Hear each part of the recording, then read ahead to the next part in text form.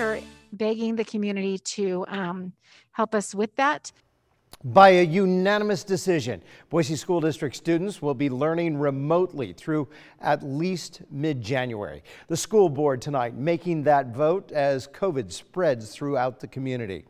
The district has reported about 160 cases of the virus since November 3rd, and that's led to roughly 1,500 students and staff in quarantine. That obviously is putting a dent in the district's plans. Our Joey Prechtel joins us with details on a story that is impacting a lot of families tonight. Joey, this is a crucial step, but it's not going to kick off right away, is it?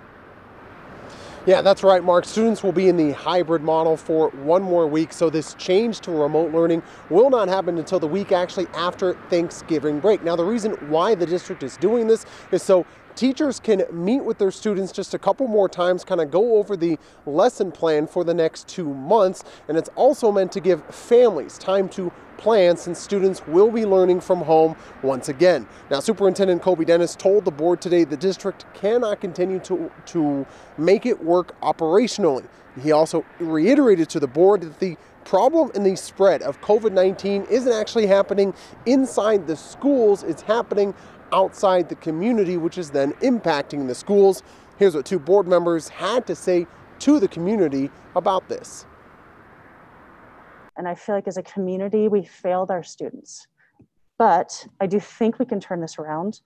I think we have a community that really values education and values our teachers and values our students being in the classroom. It's it's incredibly unfortunate that our schools and our children who are you know going to suffer the most are put in this position and because of the fact that people outside of our walls won't do what they're supposed to do some issues the district is running into are a shortage of substitutes. There's also inconsistent learning among the students because of all of the quarantines, and they're having a hard time filling certain positions, and there is also a shortage of bus drivers. And along with this switch to remote learning, athletics and extracurriculars are suspended immediately. This also includes practices and workouts. Mark?